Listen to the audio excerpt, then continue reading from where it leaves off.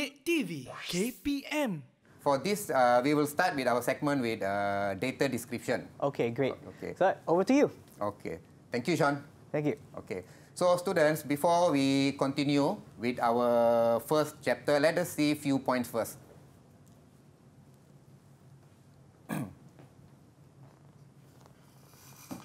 okay, all the students, please take note of the following aspects.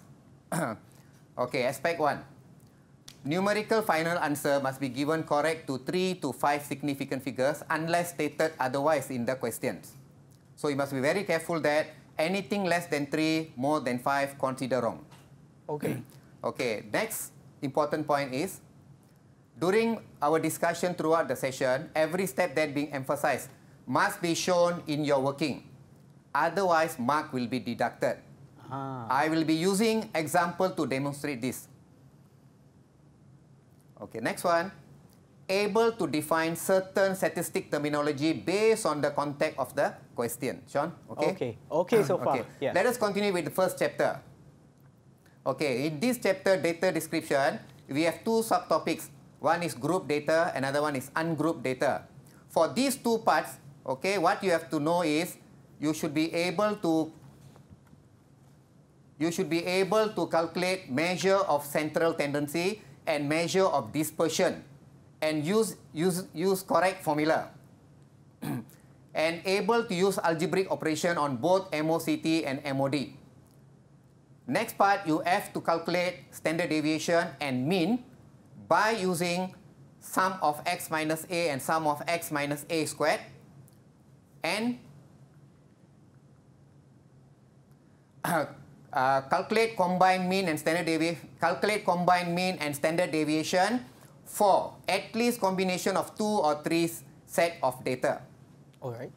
Next, you have to construct and interpret stem plot, box plot, histogram, and cumulative frequency curve.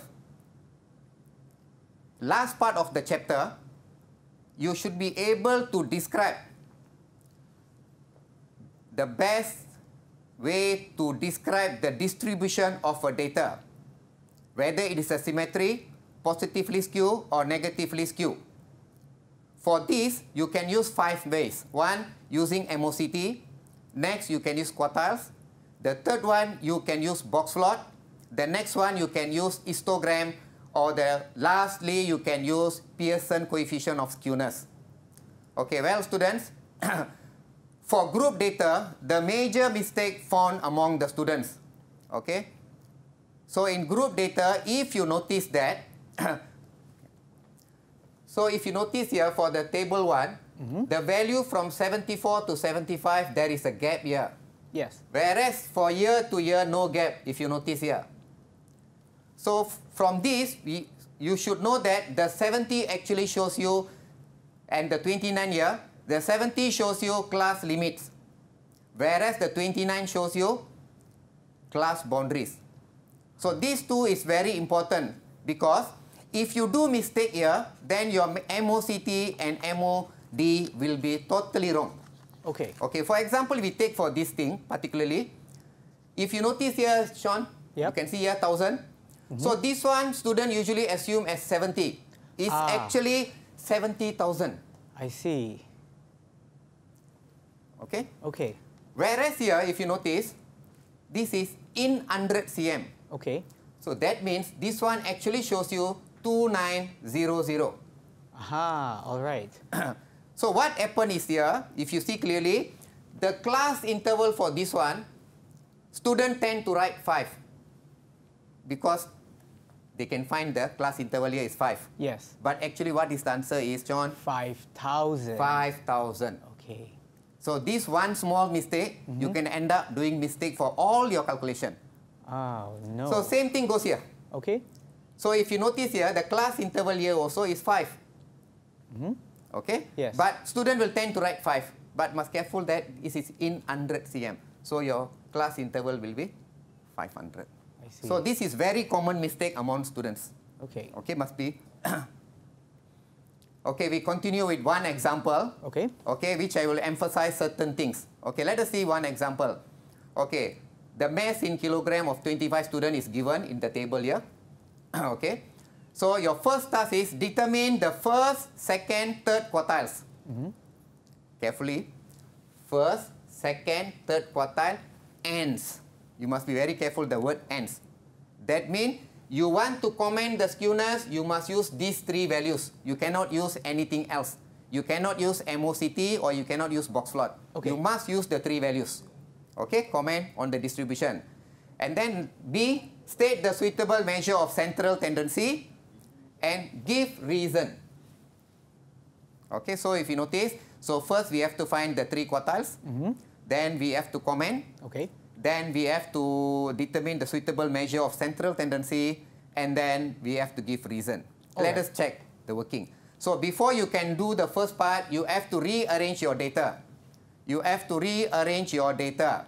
Okay, after you rearrange your data, your Q1 will be 7th observation, which is equal to 43. Your Q2 supposed to be equal to 13th observation, which is equal to 55. Okay. And then your Q3 is equal to 19 observation, which is equal to 62. That means each one you will get one mark. Okay. Okay. The most important is your indication here. Ah, so you are yes. using Q1 is equal to 43. Maybe some student wondering, what happens sir if I use small q? Okay. It's okay. It's acceptable. Okay. Okay. then we continue. So the next portion of the question, the next task, they ask you to comment on the distribution. Okay. So since we are finding these uh, quartiles, so we need to find a difference between the quartile first. Okay. We need to find difference between quartile. That means Q2 minus Q1, Q3 minus Q2. You find, you show your working, you get 12 and 7 here. Yeah. Okay, you get 12 and 7 here. Okay. Then you have to do comparison. Okay. You have to do comparison. That means you do comparison that Q2 minus Q- Q1 is greater than Q3 minus Q2. You do comparison. But what happens if you don't do this sentence uh, or this uh, line here in particular? If let's say you never do this, okay, and then you never do comparison, you straight go for your answer. Let's say, Shona, see Okay. first. ah. So your answer will be negatively skewed distribution. If let's say the student never write this, they only do these two, Okay. then mark will be deducted. Mark Oh. will be deducted. Okay. Okay. If let's say they never do this, never do this, never do this. Yes. They straightforward give you correct answer, negatively skew. Okay. That means mark will be zero. Ah, I see. So the working is more important. Okay. The method of obtaining your answer, Mm-hmm. give with the reason. All right. Okay, and looks like oh, but I have I do have one more question over here. Yes, For sir. example, here the data has negatively skewed uh, distribution. But what happens if we do not include that word negatively over there? Okay, so if you notice here, I'll just tap on the screen. okay, if you notice here, Sean, Yes. the statement will be the data as negatively skewed distribution. Yes. But the most important word here is negatively skewed distribution. Yeah. If you fail to write the word negatively, mark will be deducted. That means this one Ah. will be wrong. Even though your working here is correct, but this will be wrong. Because Q mean we got two types of skewness. Yeah. One is positively skew, another one is negatively skew. Okay. So if you never write the word negatively it might be positively skewed. I see. Ah, okay, So so therefore, that's that would be the wrong answer for Yes. that. Now, what about this statement over here? The data has negatively skewed distribution. So if let's say I do not put the word negatively over there, can that be accepted? Sean, you listen carefully here. Okay. We got two type of skew distribution. Yes. One is positively skewed, another one is negatively skewed. What Okay. happen if you never put the word negatively mean? It might be positive also. I see. Uh, that's why if the word negative there is very important. Mm-hmm. So your answer must be negatively skewed distribution. Okay. Okay, shall I continue, Shan? Okay. Yes, please. Okay, so in next part, they ask you what is the suitable measure of central tendency. So based on our answer here, actually, we know already. Once it's a skew distribution, the best measure of central tendency is median. Okay. Okay, median. Maybe some student will write mode It's acceptable. Okay, but median is the much more better. Okay, then we continue. They ask you to give a reason. So the reason here is very clear. You can write the data as negatively skewed distribution. Okay. Which means if you never write, uh, let's say you never write here negatively skew, Okay, for this particular part, if you write just skew distribution, is good enough already. I see. Uh, because the skew here is shows that you must use median. Whether it's positively skew or negatively skew, you must use uh, median as a measure of central tendency.